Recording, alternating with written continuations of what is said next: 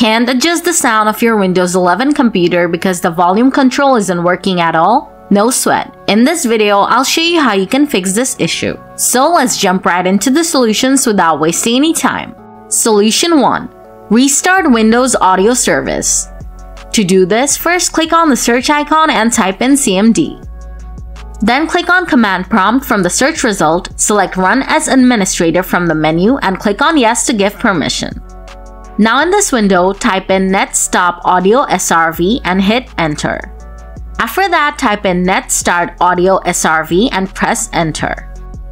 Now click on the search icon again and type in Services.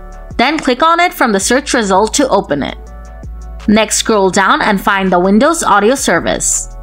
Then right-click on it and select Properties. After that, change the startup type to Automatic. Then click on Apply and then on OK. Next, right-click on it again and select Restart. Now check if you can adjust the volume. Solution 2. Restart Windows Explorer. To do this, right-click on the taskbar and select Task Manager.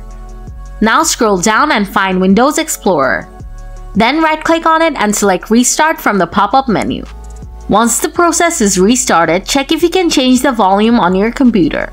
Solution 3. If you're still unable to change the volume, try adjusting the display scale.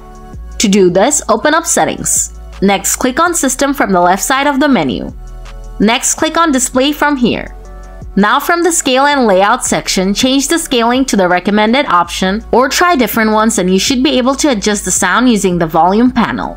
So that's how you fix the volume control or volume button not working issue in Windows 11. If the video did the trick for you, don't forget to hit the like button. And if you have any questions, feel free to leave them in the comments and I'll get back to you as soon as I can. Thanks for watching and I'll see you in the next one.